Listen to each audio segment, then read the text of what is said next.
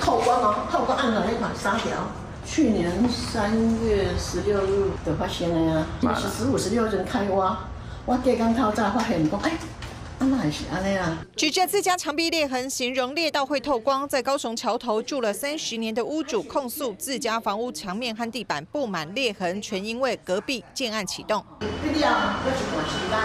他就是状况越来越糟。把水壶放在地上，直接往建案的方向滚动。屋主认为连地面也受到建案的影响，气到在自家屋外拉起红布条，杠上隔壁建商，控诉无良建商毁坏邻房，危险，请勿靠近。另一面写着欢迎土木技善心人士入内参观，不吝给予指教，该如何修复？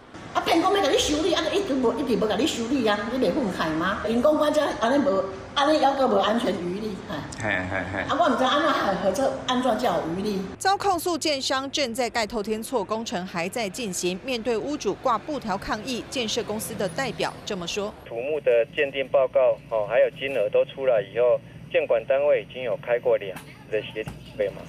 那因为对方一直没有提出来他们哦期望的。求偿金额嘛，所以就都没有达成协议啊。后续当然哦，就是由法官去裁决啊。我甲讲过，你因为讲弄他骗你零三，他给在沙龙花时间打工，这样就好，是不是这个意思？双方看污损程度认知不同，对和解还没共识。屋主已经对建商提告，争议交给司法解决。三立新闻南部综合报道。